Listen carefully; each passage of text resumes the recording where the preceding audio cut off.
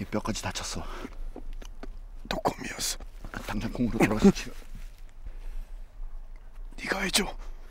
해독할 마비산이 없어. 그 말을 부여궁으로 데려가라. 당장 손을 쓰지 않으면 발을 잃는다.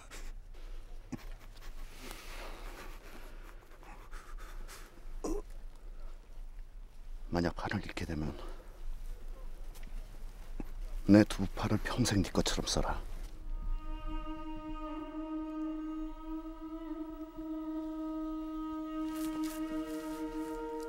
산채로 이동한다!